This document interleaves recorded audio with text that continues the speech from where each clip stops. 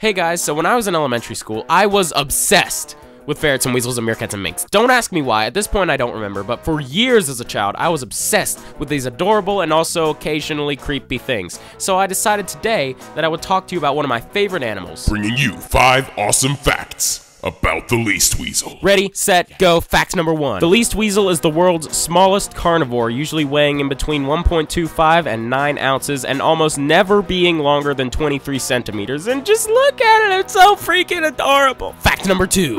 Despite their tiny size and inherent cuteness, they are incredibly vicious with razor sharp teeth and must eat at least one third of their body weight a day just to survive. Oh, who's my vicious little killer cutie? Fact number three. Least weasels change color. Yeah, that's right. We getting educated. The least weasel is usually an orangish brown color, but least weasels that live in colder climates will actually turn white to blend in with their snowy environment. Yeah, it's like a chameleon.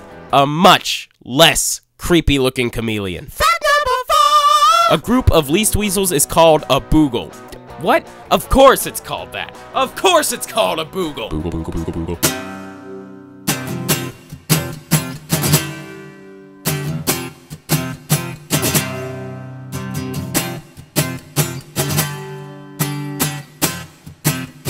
Fact number five, fact number five, fact number five,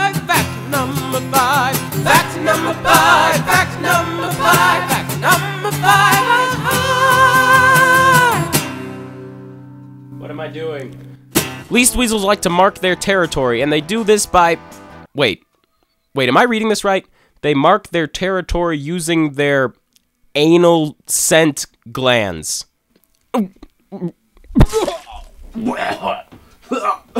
oh, oh, God, that's disgusting. I thought these things were cute. All right, guys, I, I'll, oh, I'll, I'll see you in a week.